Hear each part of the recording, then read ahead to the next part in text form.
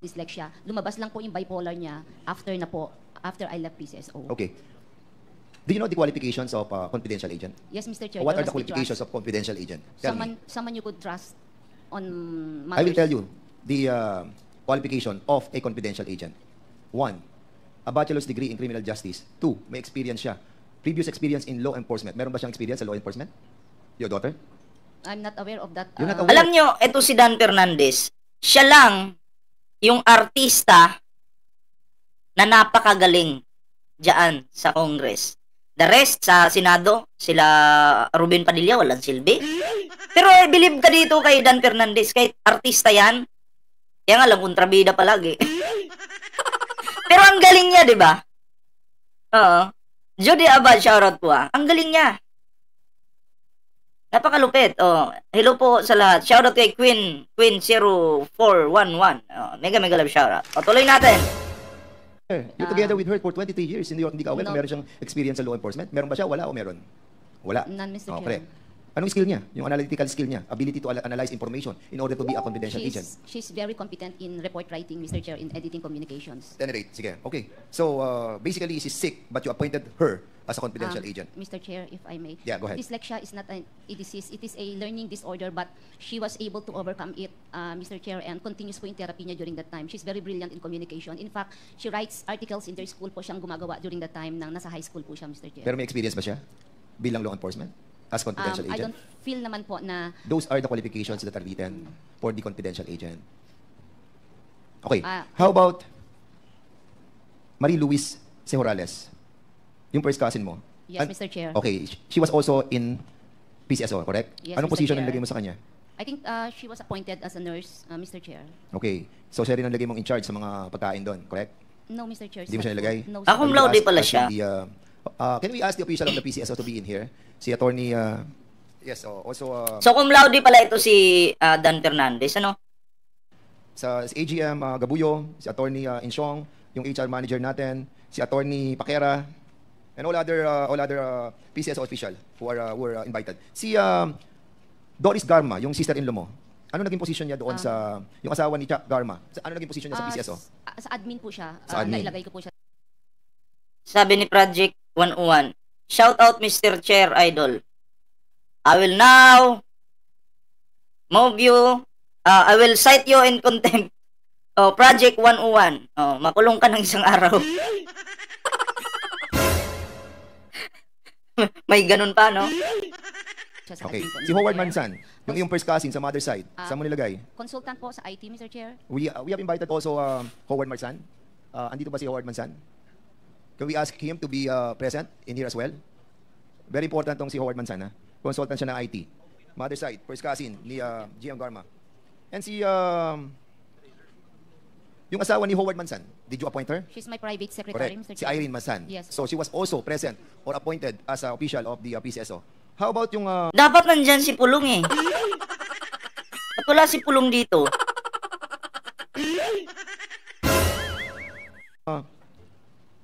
yung asawa ng uh, first cousin mo na si Emmy Ubales? Yes, Mr. Chair. I She was also hired her. appointed? Yes, Mr. Chair. Okay. And how about Junjun Ubales? She was he was Nakadetail detailed sa to iyo. me as security, Mr. Si Junjun Chair. Obales ay ang first cousin mo who was detailed sa Yes, PCSO. Yes, Mr. Chair. Yes. So how many, um, how about uh, si, uh, andyan ba si Emmy Obales? We have invited her as well, uh, Mr. Chair, to be a part Grabe no, mga kapamilya yung nagbe-benefits. of this uh, hearing. Andyan ba? GM Garma, don't you think it's quite uh, unethical for a um, general manager to put all mga cousins, Sabi na sausaw, bakit naman kung ah ano kom anong problema doon ballpoint man? Mukhang sa'yo yung may problema. Oo. Sa'yo yata yung may problema. Bakit? May problema ba? Ano bang problema? Pag-usapan natin yung problema. May problema ba? Love trip to nga nagko-comment dito, eh, no? Mark28933 shoutout. daughter, in-laws, Mr. as Chair. part of your uh, uh, circle in the PCSO? Mr. Chair, the positions that were given to them, ang requirement lang po is trust and confidence, Mr. Chair. Just like Okay. anybody in uh, appointed, Mr. Chair. How about si uh, Igel? Did you appoint him as a Igel? legal researcher? Awakay? Argel. Siya Um, namamahala there ng... was a, a, a, we posted the vacancy, Mr. Chair. I think she Hmm. applied and she was qualified as a researcher, Mr. Chair. She was hired. Okay, After HR. HR. Gusto ko lang malaman sa HR. Si uh, Cynthia Kiboloy Ragudo. Ah! Ano yun? Ba't may kibuloy? Tika, tika, tika, tika, tika. Nagulat ako dun ah. Ma'am, HR. Gusto ko lang malaman sa HR. Si uh, Cynthia Kiboloy Ragudo. Ma'am, May, ga- may ganun? Di, ang pagkakaalam ko lang na kibuloy talaga. Si Kibuloy, isa lang yung alam kong kibuloy, nag-iisang pangalan. Wala nang kapangalan pa yan. Ba't may kibuloy dito? Wait lang. Sabi ni sabi ni Sausaw, kung laudoy si Kong Fernandez, ikaw ano naman tawag sa'yo? Eh, pipin ko ah. Hmm. Alam mo, Sausaw, oo, nakikinig ka na nga lang dito, tatanga-tanga ka pang hinayupa kang putang ina mo ka. Ha? Oo, wag kang tatanga-tanga dito. Wag kang bobo. Wag kang inutil na tarantado ka. Yung pandinig sige, yung pandinig siguro nito baliktad. Oo.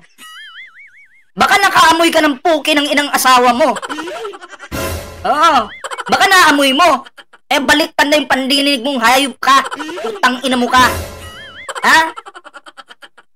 Gago ka pala, putang ina ng buong lahi mo, pamilya mo. Gago kayo.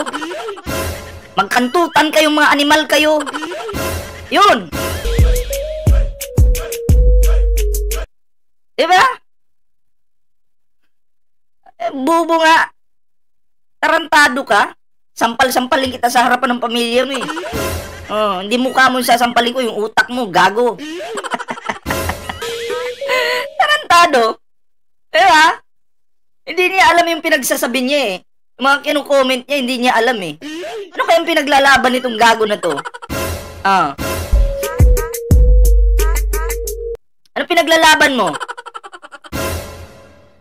Ito DD shits to eh. 'Di ba? Nagkukunyari lang, animal ka, hindi kayo.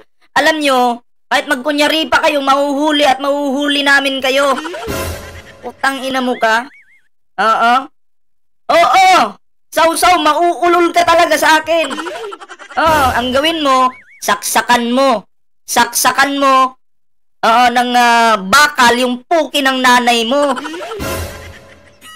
Patay na yung nanay mo, di ba? Animal ka? Oo. Hukayin mo yung ano, yung buto-buto niya. Salsalin mo. Yung ting may tinggil pa yan eh. di ba? Tarantado. Mm, alam mo, sausaw, ang putang inan yung mga ano kayo, mga bobo kayo, wala kayong magagawa dito. Alam mo bakit? Wala eh, bobo kayo eh. Ah, sa Bisaya pa, pataka ramog comment. Yan mo. Yung pamilya nito.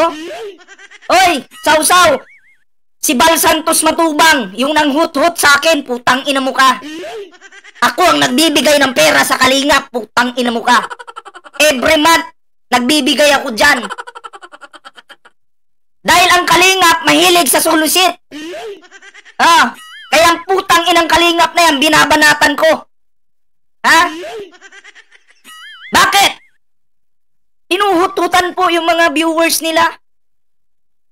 Ha? Tang ina. Gago kayong kalingap kayo. Utang ina nyo. Ha?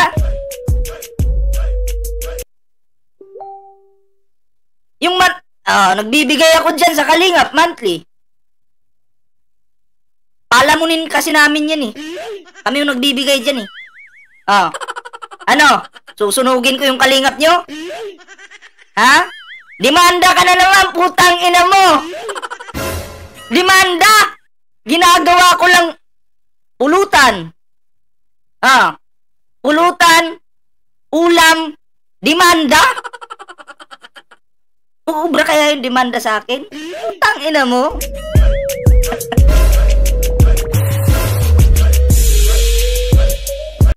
Huwag po kayong mag-support sa Kalinga pa. Wala pong maidudulot yan na maganda sa buhay nyo. Kayo lang pong huhututan yan. Maniwala kayo sa akin. Tigilan nyo po yung pagsuporta sa Kalingap kasi ang gagawin yan, magkakaroon kayo ng monthly magsusulisit yan eh. Di sila magantay ng ano, ng ah, anong tawag nito? Di sila magantay ng yung yung tao ba, yung magdi-decide na magbibigay sa kanila. I-announce pa talaga nila sa channel nila, nila yan, di ba? Oo. I-announce nila sa channel nila yan. Ah, kung gusto mo, message mo ako sa Facebook. Oo, message mo ako. Para magkaalaman tayo. ba? Mapatay gutom kasi kayo, lalo na yan si Edna. Yung asawa ni Kuya Bal. Hampas lupa yan eh. Oh. Bakit? Nanghingi ng ano, wala pa po akong pakulay dito. Patay gutom yan. Ba? Nagpaparinig ng pakulay? Ang kapal na muka. 'Di ba? Eh, tuloy, babanatan ko kayo dito. Ah, kung hindi mo sana inupin yung kalingap, ah, hindi sana mababanatan dito. Ayan kasi, inupin-upin mo pa. Nabuking tuloy. 'Di ba? Nabuking tuloy. Tapos ngayon, gagawa sila ng lab team ngayon. Lab team. Pagkakapirahan yung lab team. Kasi marami, pag lab team po kasi, ito, marami pong sponsor na darating. Oo, yung mga taga, target nila OFW eh. Oo. Magpapadala yung OFW ng pera, ganito kay, oh, kay, kay Reyna, ibigay nyo ito kay Reyna. Ang nakakarating lang kay Reyna, 20%. Oh. Asan na yung 80%? Binulsa. Oh, 'di ba? Kasi nga patay gutom po itong kalingap na to. Hampas lupa po ito. Ang bumubuhay po sa kanila mga OFW. Siyempre kaming mga vlogger din noon na nandiyan. Bakit? Nag-aambag kami sa kanila eh. Pera namin, binibigay namin dun sa kanila eh. Ah. Patay gutom yung kalingap nyo. Diba? Hindi. Sa pilitan pa, ah, ika, kinuha ba naman akong ninong ni Kuya Bal Santos Matubang? Pagkuha sa aking ninong, dapat ako yung magde-decide kung may magkano ibibigay ko, ganun. Ninong ako eh. Aba, in-announce sa, nakakadismaya, in-announce dun sa live niya. Sabi niya, oh, ikaw, kailangan magbigay kayo, ha? Kayong mga ninong, kailangan magbigay kayo kasi pag hindi kayo nagbigay, tanggalin ko kayo dito sa ano, sa pagiging ninong nyo. May ganun ba yun? Pwede ka palang tanggalin sa pagiging ninong. Pasalamat nga ako, ninong ako eh. Tapos nung narinig ko yung sa live, wala na, dismayado na ako. Ba't pa ako magbibigay ng pera? Diba? Ba't ako magbibigay ng pera? Pera-pera pala yung labanan dyan eh. Antayin nyo, ako yung mag-decide. Pera ko to eh. Oh. Huwag niyo pong tangkilikin yung kalingap. Wala pong kwenta yan. Marami pong charity vlogger dyan na iba na talagang tumutulong. O, bahala kayo, suportahan nyo yun. Pero pag sinabing kalingap, mukhang pera po yung mga yan. Ah. Ano, saw-saw, buhay ka pa? Pinahamak mo yung kalingap nang dahil sa mga komento mo. ako daw yung nanguhutot. Tapos ako yung nagbibigay. Tanga ka ba? Bobo mo gusto, sampalin kita ng resibong hawak ko eh. Ha? Na pinapajikas ko sa amon nyo? Ha? Gusto mo isampal ko sa'yo? Kami ang bumubuhay sa amon nyo, tandaan nyo yan. Oo, mga patay gutom kayo. Isa, isa ka na doon. Tarantado, ano? Andiyan ka pa? Ah, pag sinabi pong kalingap, huwag niyo pong suportahan yan. OFW kayo? Nasa ibang bansa kayo? Target po nila yung pera nyo. Pera nyo po yung target nila. ba? Tapos ang ang goal nila kailangan nilang gumawa ng love team para mapaibig kayo dun sa love team, magustuhan nyo. Pag nagustuhan nyo, Magiging proud kayo. Oo, ang sweet naman nila. Oh, mahal na mahal ko ang love team na yan. O sige, mag-ambag ako ng 5K. Papadala ko dyan. Hindi tuwan-tuwa yung may-ari ng channel. Nilikom lahat ang inyong mga pera sabay-sabay. Ang ibibigay dun sa love team, di natin alam kung magkano. Kasi hindi po sila transparent. Oh. Ha? Hindi kayo transparent eh. Isingit mo pa. Isingit mo pa yung kalingap mong walang kwenta. Oh, sige. ba? Ang daming charity diyan ha. Kung suportahan nyo, wag lang yung kalingap. Pera-pera na po yung labanan diyan. Ah. Anyway, uh, proceed tayo dito sa ano? Dito sa next topic natin. Ito yung karugtong eh.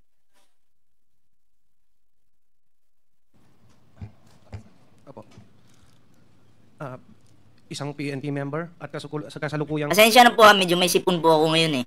Oo, eh, eh, ano ko na lang to ng syuktong mamaya. Magsyuktong po ako mamaya. Gamot yan sa ano eh, sa sipon eh. Syuktong. assigned sa PNP Drug Enforcement Group. Una sa lahat, nais kong pasalamatan ng mga miyembro ng committee ito at ako'y pinagbigyan ng pagkakataon para mabigyang linaw ang mga issue at insidente kung saan lumabas ang aking pangalan kasama ang dating matataas na opisyal ng PNP. Nais kong ilahad sa committee ito ang katotohanan at mga detalye patungkol sa naturang operasyon para malinis ang pangalan ng mga taong gustong idawit ng mga taong totoong may kagagawan. Ako po ay isang alagad ng batas. Matapat kong ginampanan ang aking tungkulin na walang pag-alinlang Parang umiiyak yata. Kalmado ka lang, idol. Hindi po, ganito talaga ako mag-react. Sa mga nakakilala sa akin, pag umiinit yung itlog ko, ganun talaga eh. ano, kumbaga, normal na lang po sa akin yung ganun. Ganong ah, mga reaksyon. lagan. At handang isakripisyo ang aking buhay para lang gampanan ang tungkuling iaata sa akin ng, ng, ng mga nakakataas sa akin. Nais ko pong ipaalam sa kumiting ito na may mga lumapit na po sa akin na mga mataas na opisyal at ma-influensyang tao at ipilit akong pinalalagda sa ak ng isang preparadong sinumpaang salaysay para idiin at idawit ang mga dating opisyal ng PNP at para mailayo ang isyo sa mga tutong tao na nag-utos sa akin para gawin ang masabi ko na ngayon at mali at mapanlinlang na kautusan. Ako po ngayon ay voluntaryong magbibigay ng aking nalalaman at ilalahad ang, ang aking naging partisipasyon sa isang pangyayari sa aking pagkakaalam ay bahagi ng aking tungkulin bilang isang tagasugpo ng salot ng ating lipunan, ang iligal na droga.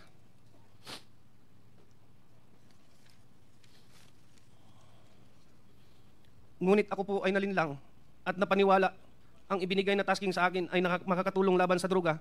Subalit ito pala ay ginamit sa kasangkapan para sa pansariling interes at masamang layunin. Ang paghahayag kong ito ay maglalagay sa panganib hindi lamang sa aking buhay, kundi kasama din ang aking pamilya. Subalit ako ay may tungkulin na iwasto ang aking naging pagkukulang dahil ako ay nalinlang kaya't panindigan at haharapin ko kung anuman ang kahantungan ng aking paglalahad ng katotohanan kahit ito ay maging katumbas ng aking buhay. Sana po sa aking paglabas at pagsabi ng totoo ay maibsan ang hinagpis at mabigyan ng hustisya si Attorney Wesley Barayuga at linisin ang pangalan ng mga naidin- taong idinawit lamang dito at panagutin ng tunay na may kasalanan. Sa panguli, taos puso po akong humingi ng patawad sa, mga taong naapektuhan ng pangyayaring ito, lalong-lalo na po sa pamilya Barayuga Ma'am Dalisa Enrique, shoutout po ah. na naulila dahil sa maling gawa at panlilinlang ng taong may kinalaman nito. Mr. Chair, may I read Baka may sipon po. my affidavit? Go ahead. Sige, sige lang. Ako po, si Police Lieutenant Colonel Santi Mendoza, nasa tamang edad, isang Pilipino, nagtatrabaho sa PNP Drug Enforcement Group Headquarters, Camp Brigadier General Rafael T. Crami, Quezon City, matapos manumpa alinsunod sa batas, ay nagsasaad ng mga sumus Tatanungin ko kayo dyan sa comment. Okay. Kapag kayo ba kinuha kong ninong, Tapos i-declare ko dito na, oh, pag hindi kayo nagbigay, tatanggalin ko kayo. Matutuwa ba kayo? Sige nga. Kuhanin ko kayong ninong-ninang. Pag hindi kayo nagbigay sa, kung mukha kong pera, sabihin ko sa inyo, oh, hindi ka pala magbigay. Sige, tanggalin na kita dito. Ang hindi magbibigay, tatanggalin ko na. Anong tawag doon? Mukha kayong pera. Diba? Ang pangit, diba?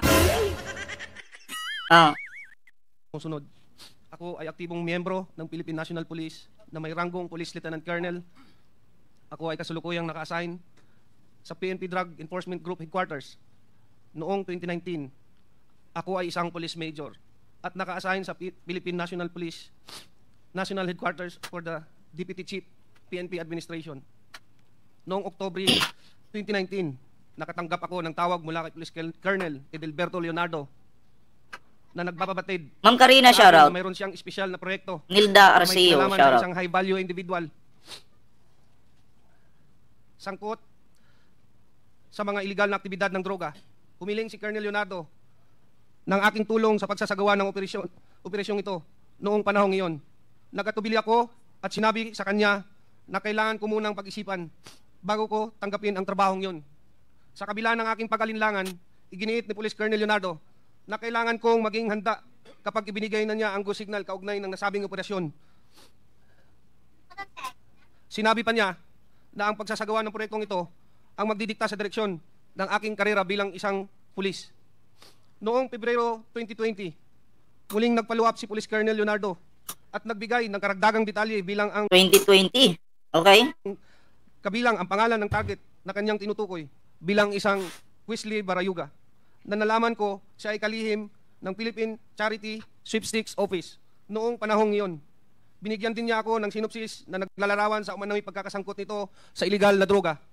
Matapos matanggap ang impormasyon, sinabi ko kay Sir Leonardo na dahil isang opisyal ng gobyerno ang target, mahalaga na magsagawa ako ng sarili kong verifikasyon. Ngunit sinabi niya na hindi na kinakailangan dahil ang utos ay mula kay GM Garma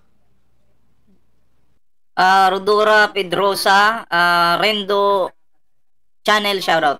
dating Colonel Royena Garma na may personal na kaalaman tungkol sa mga illegal na aktibidad, aktibidad ng droga ni Wesley Barayuga.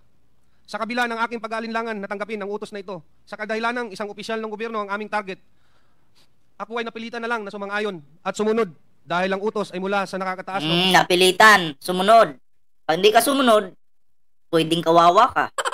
Ah. opisyal at upperclassman ko na si Colonel Leonardo at ang utos ay galing mismo sa isang opisyal ng gabinete ni, Ma'am Royena Garma. Sa personal na aspeto, nag-aalala ko Hot Fatty Papa. Oo, shoutout sa iyo ah. ano ang maaaring mangyari sa aking karera bilang isang pulis at higit sa lahat sa aking buhay, pamilya, Ang problema dito sa pag ang namumuno pag ang namumuno masamang tao ang mga kapulisang mabubuti madadamay. Kasi bakit? Pag hindi ka sumunod, kawawa ka. Diba? Eh, alam ko, maraming, ah, ano eh, maraming mga pulis yung napipilitang gawin yung mali. Dahil yun yung order eh. Yun yung utos. Diba? Pag hindi ka sumunod, maaaring buhay mo yung kapalit or maaaring trabaho mo or pagiging pulis mo matanggal ka dyan ang mawala sa'yo. 'Di ba? Parang ang nasa taas, pag, pag demonyo yung namumuno sa taas, siyempre kontrolado niya yung nasa baba. Kawawa po, no? Yung mga kapulisan natin. Kaya tingnan nyo sa panahon ni Digong, Sumama po ang tingin ng mga Pilipino sa kapulisan.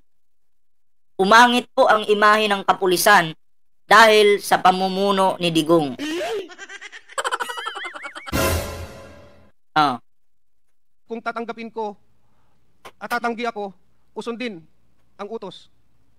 Matapos tanggapin ang assignment, pinasimulan namin pinasimulan pinasimulan ko ang paghahanda para sa proyekto, kabilang ang pag-recruit ng isang angkop na tao para isagawa.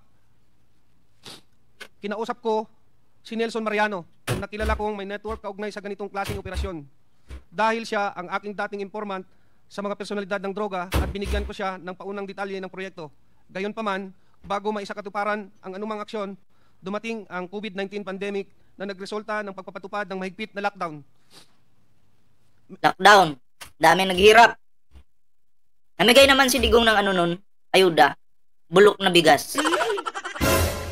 Sino nakatanggap bulok na bigas? Pag pagbukas niyo sa bigas, may mga gumagapang-gapang na mga hindi ko alam kung kuto ba 'yon.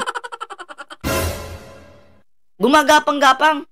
Tapos yung mga noodles nila, pag bubuksan mo, may mga pulang ano, turimaw doon. Sino nakatanggap? Press 1, press 1, press 1. Ang baho pa ng bigas. Siyempre, hindi mo naman pwedeng itapon kasi pagkain yun eh. Kakainin mo, kakainin mo rin, 'di ba? Kasi ah, pag tinapon mo, para ka ring ano niyan, demonyo. Siyempre, pagkain yan, itatapon mo, 'di ba? Sabi niyan vlog. Oo. Basta may mga gumagapang-gapang. 'Di ba? Tapos, karamihan ng mga pinapamigay, karamihan ng benefits noon, yung nandun sa barangay, sila doble-doble yung natatanggap. Pero yung mga individual na nasa bahay-bahay lang, wala lang. Ah, minsan napipili pa nga eh. Minsan yung iba hindi nabibigyan. Ganun po kasakim. Yung mga ano diyan, barangay official sa panahon ni Digong. Oh. Gusto nila sila lang yung mabuhay, sila lang yung kumain. ba? sa National Capital Region na nagpahirap upang maipagpatuloy ang operasyon noong panahong iyon. Sarado ang mga tanggapan ng gobyerno at limitado ang galaw ng mga tao, kaya mahirap masubaybayan o masundan ang target. Matapos lumuwag ang mga lockdown measures at restriction, muling nakipag-ugnayan sa akin si Colonel Leonardo noong Hunyo 2020 at binigyan din ang kahalagahan ng proyekto lalo na't matagal na ang lumipas mula sa kanyang paunang utos. Sa kanyang panghi- panghihikayat, sumang-ayon ako Bukbuk. Oo, yun, bukbuk. na muling kausapin si Nelson Mariano upang alamin kung Ma'am Minua Maria, shoutout po ah. nakahanap na siya ng taong angkop sa itinakdang gawain. Nakumbinsi ko si Nelson Mariano na lumahok sa operasyon base sa intelligence report na tinanggap namin mula kay Police Colonel Leonardo na siya namang nakuha niya mula kay Ma'am Garma. Nagsasaad na si Wesley Barayuga ay sangkot sa mga iligal na aktibidad ng droga. Sinabi rin ni Police Colonel Leonardo na may isang taong nagngangalang Tox ang makikipag-ugnayan sa akin at magbibigay ng karagdagang impormasyon tungkol sa target. Ang nasabing Tox ayon kay Police Colonel Leonardo ay isang bata ni Ma'am Garma mula sa CIDG. Matapos makatanggap ng tawag mula kay Tox, sinabi ko sa kanya, mag-coordinate siya sa aking middleman na si Nelson Mariano na siyang magbibigay ng impormasyon sa designated hitman. Sinabi ni Nelson Mariano sa akin na nakahanap na siya ng hitman at nagngangalang Luloy. Sinabi niya na maasahan si Luloy at Ba? kayang tapusin ang ibinigay na gawain. Sinabi ko kay Nelson na makipag-ugnayan siya sa kanya. Uy, shoutout sa may mga pangalan luloy dyan ha. Sino kaya luloy tinutukoy dito? Luloy. si Tox na magbibigay ng detalye tungkol sa target. Pinayuhan ko siya na mag-ingat at magkita na lang kami Maraming nagutom sa panahon ng ano ni Digong na lalo na pandemic na. Maraming nagutom, maraming na natanggal sa trabaho. Gutom yung Pilipino, pero hindi na solusyonan ng Digong yung gutom ng mga Pilipino. 'Di ba?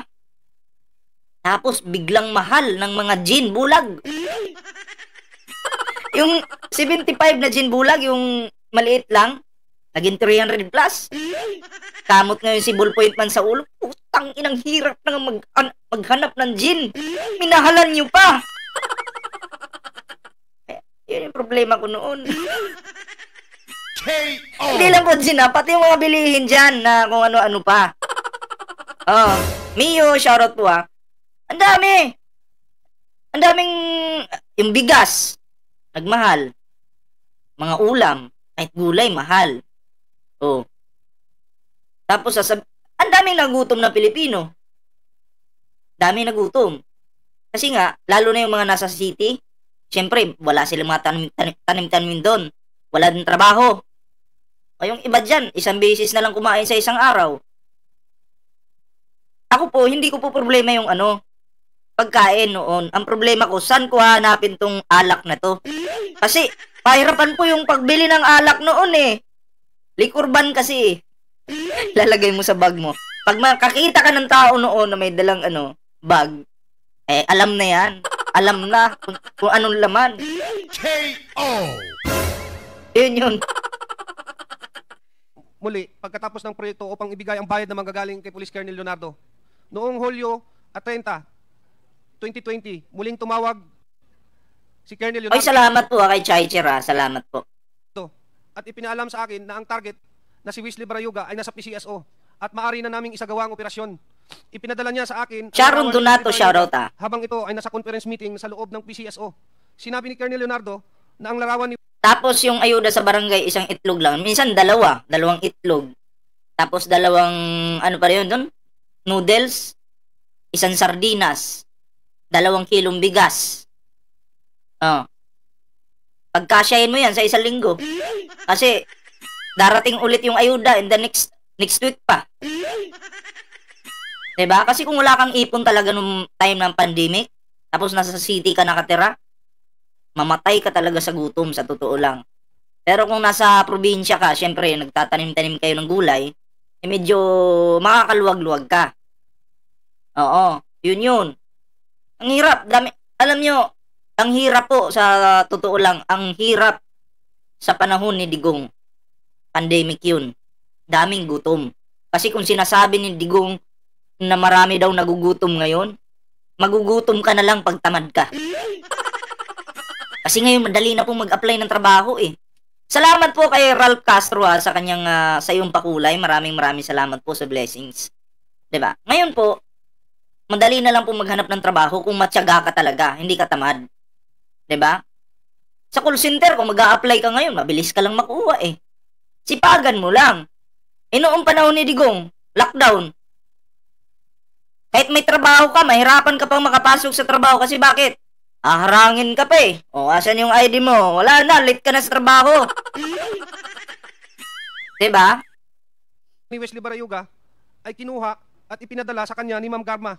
Sinabi rin ni Colonel Leonardo na hindi kami mahihirapan sa pagsasagawa Pero ako proud po ako noong ano, noong COVID. Bakit? Di po ako nagpaturok. Di ako nagpaturok ng ano ng kung ano ng vaccine 'yan. 'Di ba? Oy, salamat ah, kay ano kay ah, Ralph Castro. Salamat salamat po sa yung ah, ah, pakulay diyan. Ayan, salamat po sa blessings. Oh, hindi po ako nagpaturok kasi delikado po eh. Wala wala naman akong sakit eh. Oh, ito yung isipin nyo. Bakit ka magpapaturok or anong anong tawag vaccine ba yung tawag nila doon? Bakit ka magpapaturo kung alam mo naman sa sarili mo na healthy yung katawan mo? Tapos yung ituturok sa'yo, hindi ka sure kung ikakamatay mo yan o hindi. Pero syempre, yung mga nagtatrabaho sa mga mall, no choice po sila kundi magpabaksin. Alam mo bakit? Yun yung requirements eh. Oh. Eh ako sabi ko, eh, kahit dito lang ako sa bahay. Eh ano ngayon? Di, eh, ayaw ko nga mag-mall. Ayaw ko mag-mall. Oh, ayaw kong pumunta ng mall. Bahala kayo dyan. Nagstay po ako sa bahay. Bahala kayo dyan.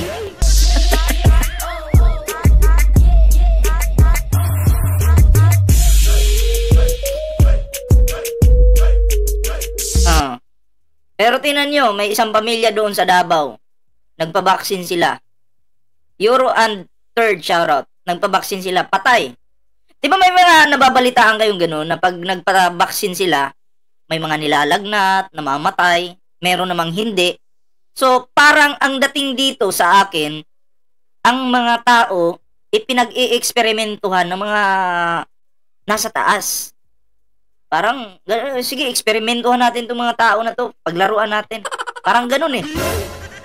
Yung iba naman, no choice, kasi kailangan nila yung sa trabaho. May vaccine card kasi nun eh. Kailangan mong ipapak- ipakita yun. Eh kung wala ka nun, bawal ka lumabas. Sabi ni Kim Chu. ng operasyon dahil nag-issue na si Ma'am Garma ng isang service vehicle para gamitin ni Wesley Ninita Mintigar, shoutout. Barayuga at binigay At kay GR Tiongson, shoutout po. sa akin ang description at plate number ng sasakyan. Sinabi niya na maaari na naming tirahin si Wesley Barayuga Naku. pagkatapos niyang lumabas sa gusali. Ipinasa ko ang lahat ng impormasyong ito kay Nelson Mariano. Matapos na matagumpay na naisagawa ang operasyon, ipinaalam sa akin ni Police Colonel Leonardo na si Ma'am Garma ay nagbigay ng 300,000 bilang kabayaran para sa aming trabaho. At ito ay iabot ni Tox Mahirap na nga yung buhay noon. No? Sa panahon ng COVID, ang ginawa, may face mask na. Okay na, face mask na. May social distancing, okay naman yun. Wala namang problema doon. Ngayon, sinundan ng face shield. Sabi ko, mukhang mahirap to ah. Mukhang mahirap makahinga nito ah. Pagkatapos ng face shield, sinundan ng barrier naman. Yung motor may barrier, may nakaharang na naman. Alam niyo yung barrier na yan, pinagkakitaan lang po nila. Oo, ginawang negosyo. Eh may na-disgrasya ngayon dahil doon. Ayun, pinatigil.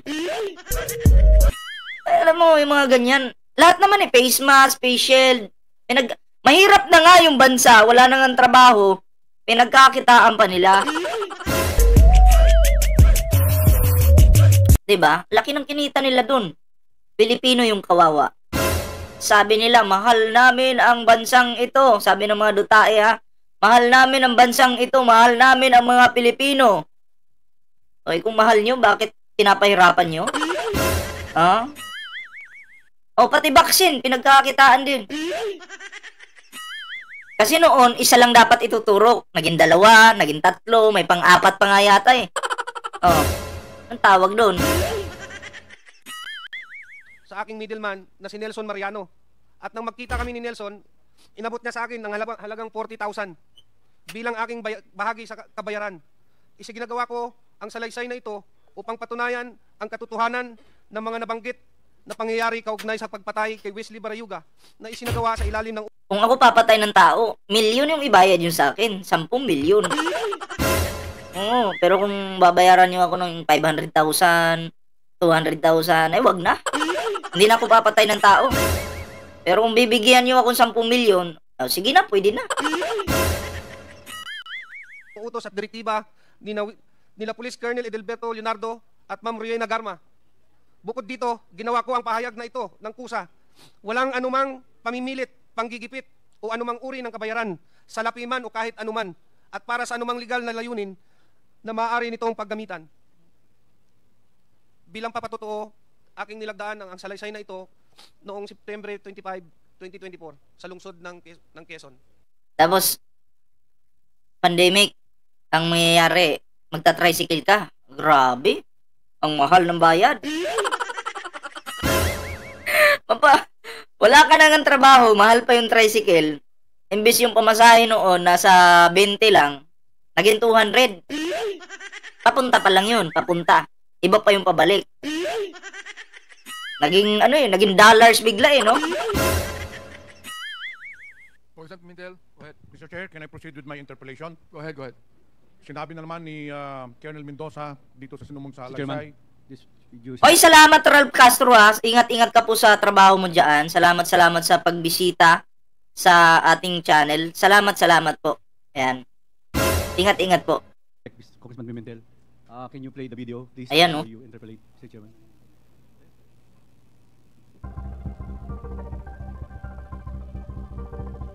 Ay, eh, wag nating i-play diyan kasi ah, hindi ako magpi-play ng ano dito ng ah, patayan sa live.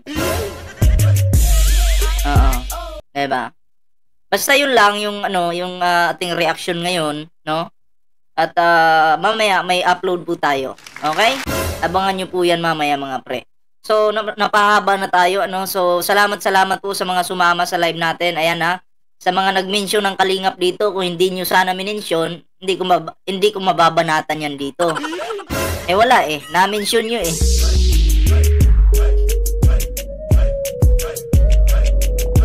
Salamat, salamat po ha, sa nagpakulay, ah, kay ano, salamat po kay ah, Ralph Castro. Ayan, salamat sa iyong pakulay sa ating munting YouTube channel. Ayan, syempre sa mga bago po nating subscriber, maraming maraming salamat po sa inyo. Ayan.